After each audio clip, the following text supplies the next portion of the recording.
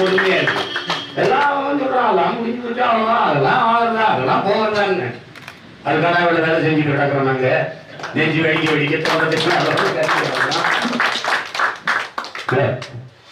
அப்படிலாம் விட்டுட்டு போயிட முடியாது.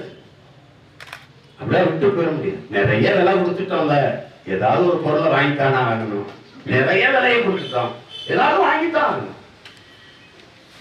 ஒரு நிலைப்பாடு தான். என் பாட்டுக்குள்ள என் நாட்டுக்குள்ள. நான் நிம்மதியா வாழாம நீ நிம்மதியா வாழ முடியாது. இதான் இது தீர்வு. அது வரும். அது ஒரு நாள் வரும். நான் உயிரோட இருக்கிற வராது அது நடக்கும். ஒரு நாள் நடக்கும். கொஞ்சம் நஞ்சமா? என்கிட்ட தலைவர் சொல்றாரு. எத்தனை உயிரற்ற உடல்கள்? எவ்வளவு ரத்தம்? எத்தனை மரணம்?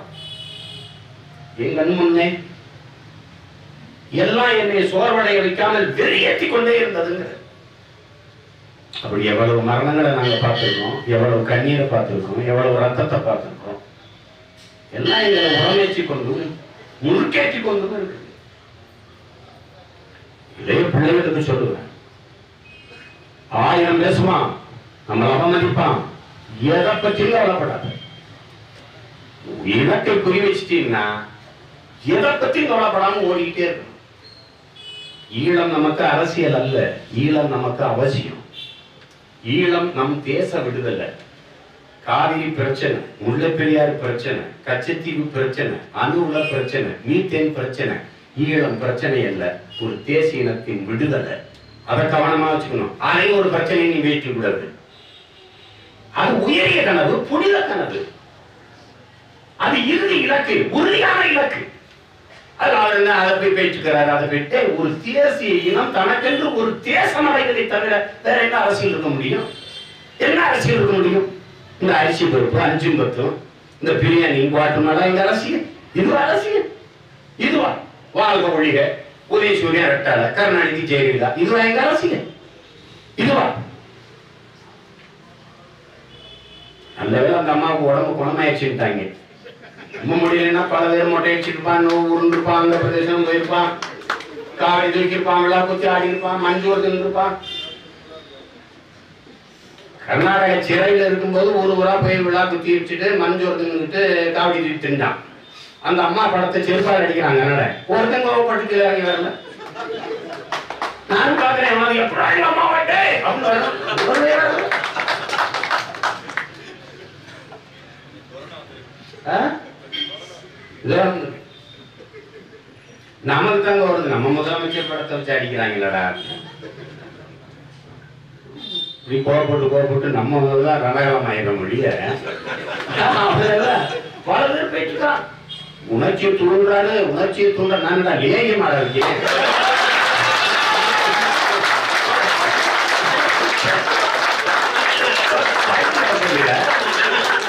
உணர்ந்து தொலைக்காட்சியில அத்தனை அவர் உணர்ச்சியை தூண்டுறாரு பிச்சைக்கார போயிடு பிச்சைக்கார உணர்ச்சியை தூண்டுறாங்க உனக்கும் தூண்டுறனா அப்புறம் அங்கே இங்க வர வேண்டியதுங்களா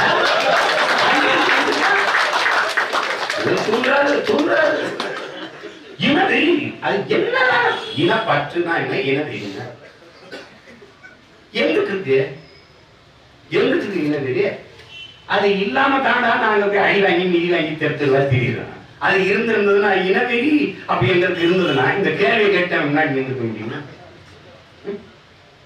கால கொடுமை பாருங்க.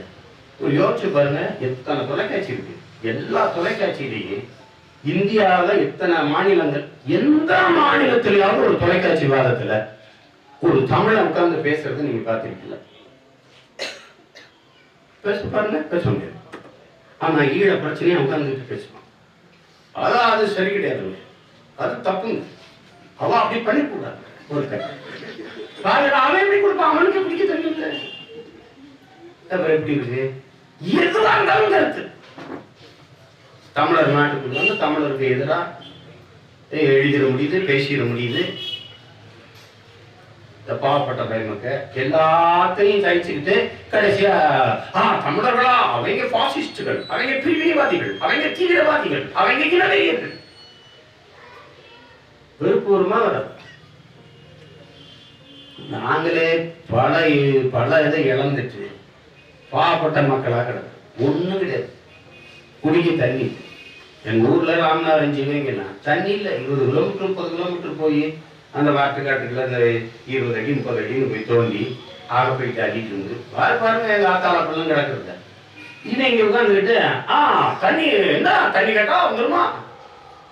ஏ சுப்பிரமணிய சாமி ஒரே வார்த்தையில தீர்வு சொல்லிட்டார் ஆ கடல்ல போய் எடுத்துட்டு குளிச்சுக்கோ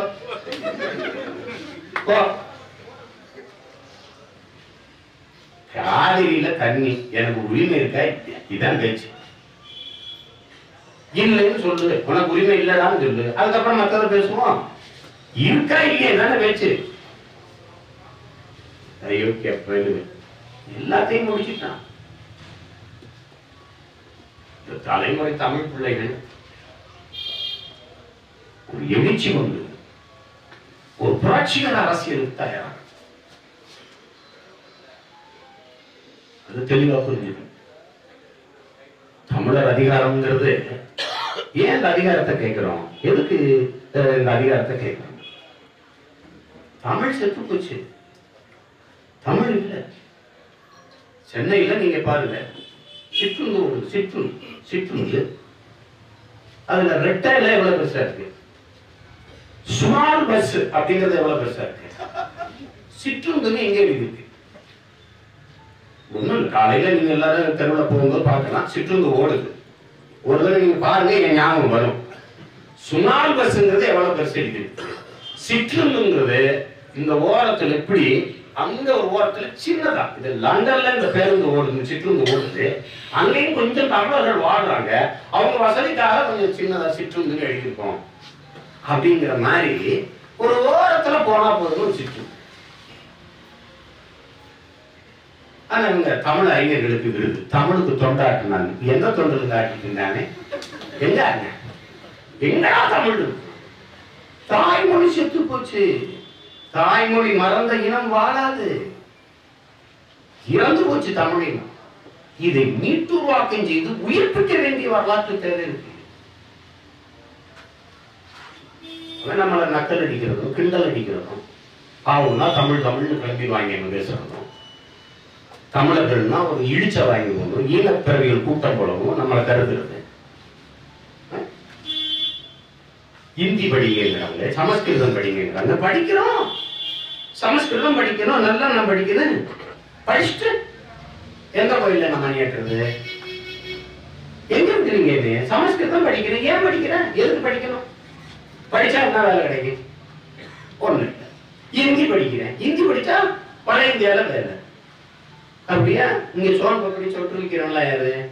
அவன் ஹிந்தி படிச்சிருந்தான் இங்க தள்ளுவண்டி கடையில் தத்து கழுவிட்டு யாரு? இங்க ஹிந்தி படிச்சிருந்தான் இப்ப என் கூட வாங்க இப்ப போனவங்க குல்ஃபி வச்சு விற்பாங்க. அவனை தடுத்து குல்ஃபின்னா ஆ யா ஆ நை ஹே அவன் யாரு? எல்லாம் ஹிந்தி படிச்சவன் தான் இந்திய தாய்மொழியா கொண்ட மாநிலங்கள்லாம் வேலையில தண்ணீர் அடைஞ்சிட்டீங்களா பதில் இல்லை.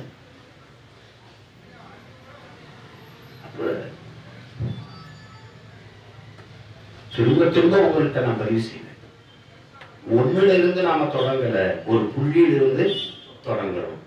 வெட்டி வீழ்த்தப்பட்ட மரத்தின் வேரிலிருந்து மொத்தமாக தலைக்கிற ஒன்றாக நம்ம தலைத்து விட வேண்டிய தேவை. ஏறக்குறைய தமிழ் அழிந்து தமிழ் இனம் அழிந்து மான உணர்வு இன உணர்வு கெட்டு சிதைந்து அழிந்து போன இந்த சூழலில் சாதி மதங்களால் பிளந்து விரிந்து கிடக்கிற தமிழ் தேசிய மக்கள். நுட்பமா பார்த்துக்கணும். சாதி மதம் அது ஒரு அருவா அது ஒரு வால் அது ஒரு கோடாடி வெட்டி பிரிச்சாச்சு. இனி மறுபடியும் சாதி மதத்தால இணைக்க முடியாது எந்த அருவா வெட்டிச்சோ எந்த அருவா பிளந்துச்சோ அந்த அருவா தைக்காது அது இணைக்காது. அதை இணைக்கணும்னா அதுக்கு ஒரு ஊசியும் நூலும் தேவைப்படுது. அந்த ஊசி தான் இன உணர்வு அந்த நூல் தான் மொழி உணர்வு மொழி பற்று. எனவேதான் தமிழால் இணைந்து நாம் தமிழராய் நிமிர்வோம் என்றால் இன்னும்